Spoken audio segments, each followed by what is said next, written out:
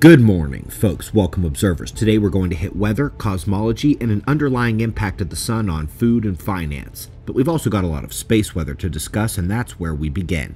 With the last 24 hours on our star, where we find continued activity at the northern active region.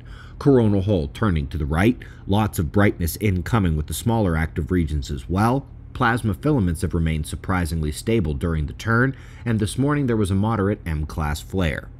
But let's jump to the solar wind because we've taken several impacts over the last 36 hours. First one was south facing magnetism and triggered a level 3 solar storm. But the second and third impacts, which you can see when the purple plasma speed surges higher, those had north facing magnetism.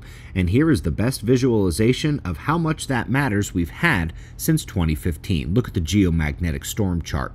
First impact caused the strong storm. The subsequent impacts were stronger, faster, but their magnetic field was pointed in a way that caused deflection rather than coupling, and the solar storm levels are now lower. That's why I talk about solar wind magnetism all the time. It's the difference between pretty aurora and transformer explosions.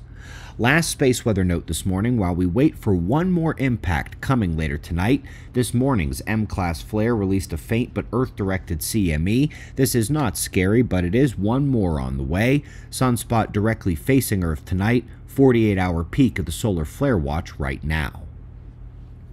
Massive cold wave incoming for the eastern half of the country. I've been watching the jet stream and this is going to feel quite shocking. You know those first cold snaps of the season that make everyone sick?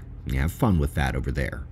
Up next, a double dose of cosmology. This paper describes how the halo kinematic profile of galaxies can't be the result of dark matter particles, which is the foundational galactic physics point of the mainstream model. And then falling in line with our position, with what we've seen suggested five times in 10 years, neither dark matter or dark energy are actually real. This was our position in 2012, and we've seen nothing to change our minds. Last but not least, folks, excellent look here at crop yields from a finance and food perspective and found higher geomagnetic field strength increases crop yield. That means that when the field weakens, crops do worse, which is not only like the eighth rationale for why these events are so hard on life on Earth, but it reminds us of what we can look forward to as the magnetic pole shift weakens our field again now in the modern age.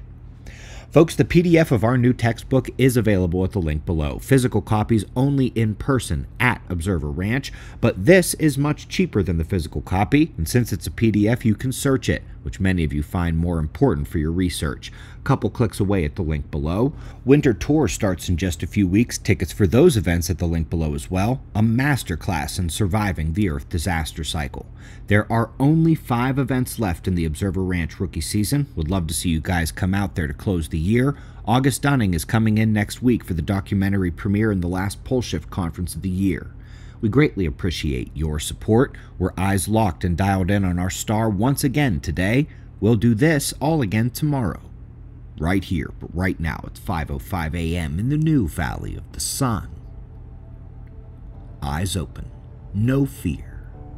Be safe, everyone.